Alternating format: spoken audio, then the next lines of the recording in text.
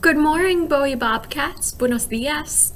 This week, we're going to do a special activity. We're going to get ready for an art contest. Esta semana vamos a hacer una actividad especial, un proyecto para un contesta. So this contest is for DART. Do you know what DART is? DART is the public transportation system in Dallas. It's what we call all the buses and trains and streetcars here in Dallas. We call them DART. Este proyecto es para DART. ¿Sabes qué es DART? DART es la transportación para las personas públicas, uh, para todas las personas en la ciudad de Dallas. Es los autobuses, los trenes y también los streetcars en Dallas. Se llama este transportación DART. So DART wants to honor the heroes of COVID. DART quiere uh, honor, uh, dar gracias a los héroes de COVID. Now, who are the heroes of COVID? ¿Quién son los héroes de COVID? Well, it's our frontline workers, our essential workers.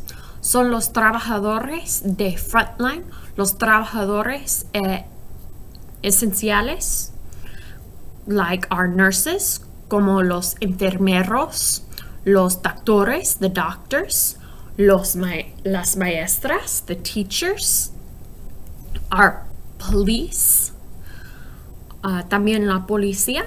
These essential workers are our heroes of COVID because they continue to work and put themselves at risk. We're able to function semi-normally. Porque estos trabajadores continúan a trabajar uh, aunque que COVID, los nos, nosotros um, podemos uh, tener una vida más o menos normal. So we want to honor our frontline workers, our essential workers, with this DART art contest. Now, the DART art contest has some rules. Uh, este contexto de arte tiene reglas. For example, they want your paper to be a certain side. Por ejemplo, necesito usar papel de un uh, tamaño específico. Your paper needs to be 11 inches by 17 inches. 11 a 17.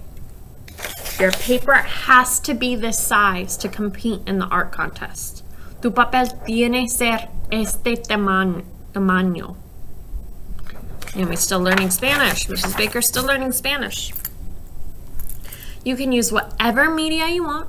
Puedes hacer los materiales que tú quieres. You could use pencils or markers. You could even create this art on the computer.